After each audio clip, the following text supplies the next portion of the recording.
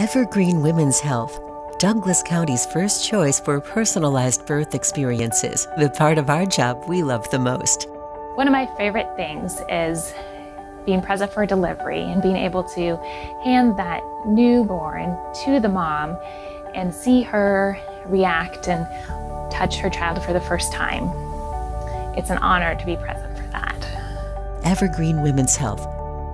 Let us be part of your beautiful beginning.